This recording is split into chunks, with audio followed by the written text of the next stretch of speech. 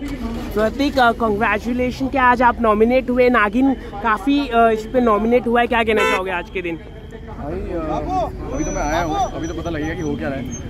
तो देखते हैं भाई क्या हो रहा है। अंदर में तो अभी समझ में नहीं आ रहा है। तो आपको नॉमिनेशन क्योंकि हमें जो जानकारी मिली नागिन कई कैटेगरी में नॉमिनेट हुआ है। तो आपकी कोई आपका कोई नहीं नहीं वो टीम जो है हमारी बहुत मेहनत करती है हाँ। बहुत काम करती है। तो अगर नागिन नॉमिनेट हुआ तो बहुत खुश हूँ इस बात के लिए and congratulation to entire team and अगर जीत गया तो भी अच्छा लेकिन नॉमिनेशन में आया वो भी काफ़ी है। ओके काफ़ी खबरें आ रही है नागिन को लेके कि ऑफ़ एयर होने जा रहा है। क्या इस, इसके बारे में आप क्या मुझे कुछ नहीं पता एक्चुअली क्योंकि मुझे ये भी नहीं पता कि ऑन एयर कब से था और ऑफ़ एयर कब होगा कब नहीं है। कुछ आइडिया नहीं मेरे को इस बारे में कि ऑफ़ एयर कब से हो रहा है।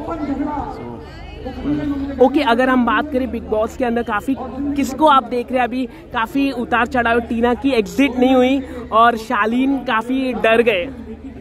मुझे पता नहीं एक्चुअली क्या हो रहा है बिग बॉस में सही बताऊँ तो। Okay okay. जो भी हो रहा है जब जैसे भी हो रहा है ठीक है भाई जो जैसे कर्म करेंगे वो वैसे भुगतेंगे और क्या अच्छा करेंगे तो अच्छा भुगतेंगे बुरा करेंगे तो मैंने बोला था ना ओटीटी में बुरा ही बट ठीक है हम कौन होते जज करने वाले किसी का इससे पहले आप आईटी अवार्ड में आए हैं हूँ हाउ मच यू एक्साइटमेंट सच बड़ा प्रेस्टिजियस अवार्ड है टेलीविज़न का?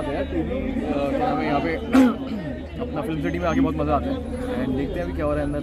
मज़ा आएगा आई एम श्योर ओके आखिर में आप अपने फैंस से नागिन फ़ैन से क्या कहना चाहोगे? मैं यही बोलूँगा कि यार thank you so much for giving me all so much love इतना प्यार मुझे दे रहे हैं फॉर बीइंग रुद्र लाइक लोग मेरे को सड़क पर रिकॉग्नाइज करते हैं एज रुद्र मुझे बहुत प्राउड फीलिंग लगती है क्योंकि मेरे uh, एक छोटे से कैरेक्टर को भी उन्होंने इतना बड़ा बना दिया इतना ज़्यादा प्यार दिया तो मैं बहुत खुश हूँ। थैंक